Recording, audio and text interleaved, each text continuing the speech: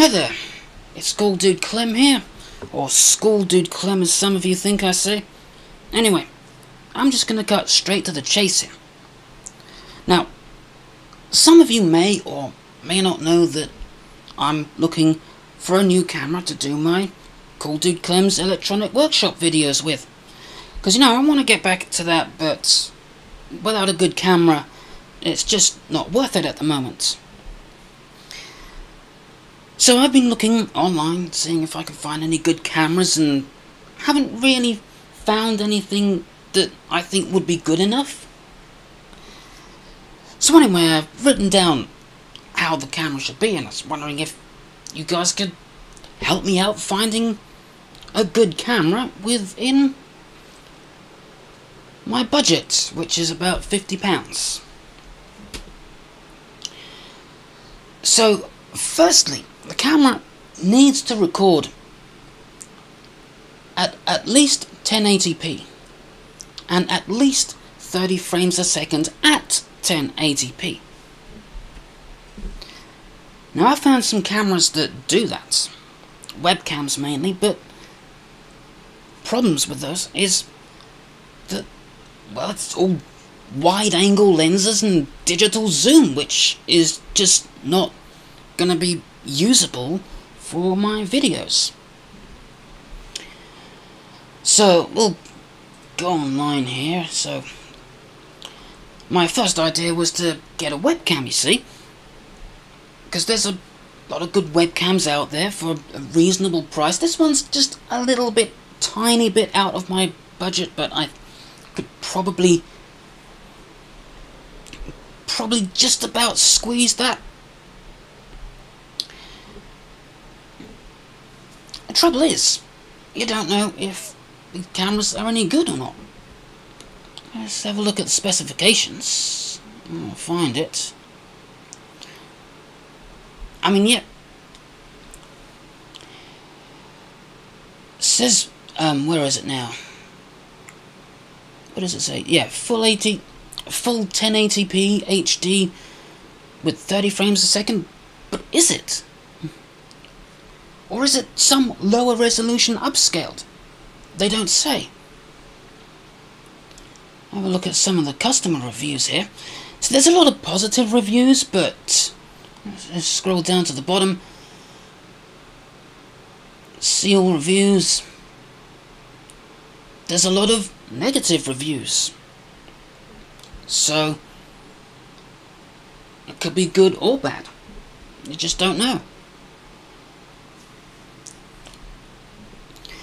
There's a couple of other potential candidates for cameras here, like this one here. But again, it doesn't say what the viewing angle is. It doesn't say, you know, is it 90 degrees? Is it 170 degrees? Is it 65 degrees? It doesn't. There's no information on that. And have a look at another camera here. Um, and this one here.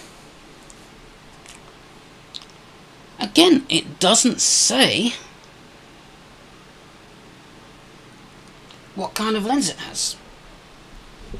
And, you know, don't know if it's any good. I mean, for instance, here it says 8 megapixels, but is it?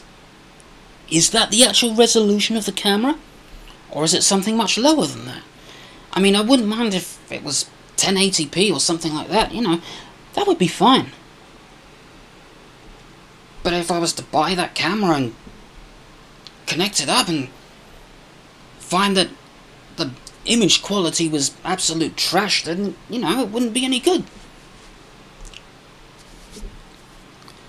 And there's no pictures taken from it or customer reviews with video footage or anything like that, so you just don't know what it's going to be like. I also had a look on some other sites like Banggood, see if I could find any um, good cameras for that price, but you know, most of them are jokes. Like this one here, oh, for God's sake. Does anybody know how to block these stupid things? Yeah, like I said, just look at the size of that lens is tiny. It's a freaking joke. I found one that's a little better. I thought this would be a good camera. Um, just scroll up to it so we can actually see it. Now, this camera here, it's good price, you know, it's within my budget. I thought, yeah, this would be a good camera. I had a look at the specs. And yeah, it's got good recording specs. We've got um 4K at 25 frames a second. Okay, it's not a very good frame rate, but better than nothing. Mm. 2.7K, 30 frames a second. If I can just get that highlighted without it highlighting the other thing. And 1080p. 60 frames a second. And that would have been perfect. But then look at the lens that they put on it. Stupid 170 degree wide angle. Why do they have to do... Why couldn't they just put a normal lens on that? Instead of having this stupid barrel distortion, fisheye, wide angle... Just... Just why? Why can't they just put normal lenses on these cameras? That's kind of ridiculous.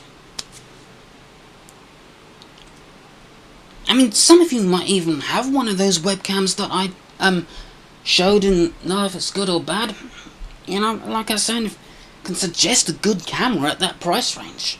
You know, under fifty pounds, or even if you want to donate one but yeah. See, these are things that I don't want the camera to have. We already spoke about the wide-angle lens. I hope OBS is still recording. I better just check that.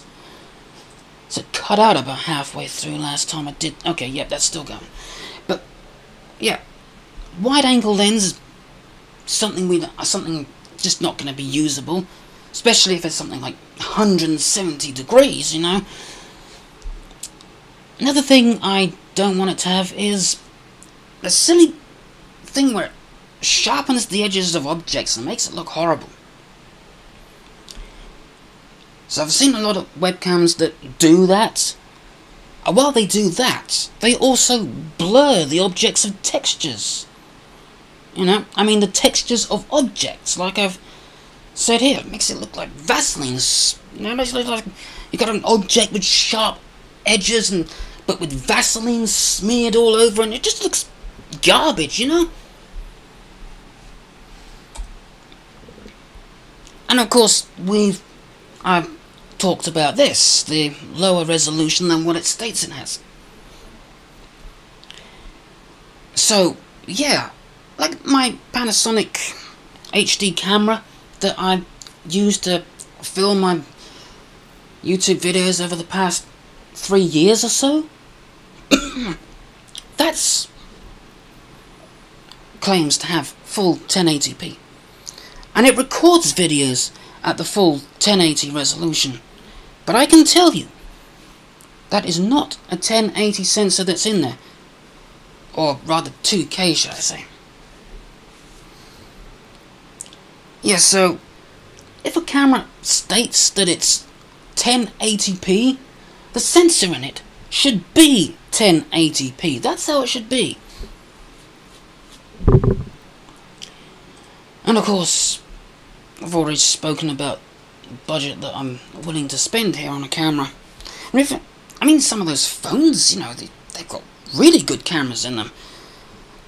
I'm sure the camera isn't the most expensive part. I mean, if I can find a camera that's got a picture quality as good as that, then, you know, that would be great, you know, for that, that kind of money.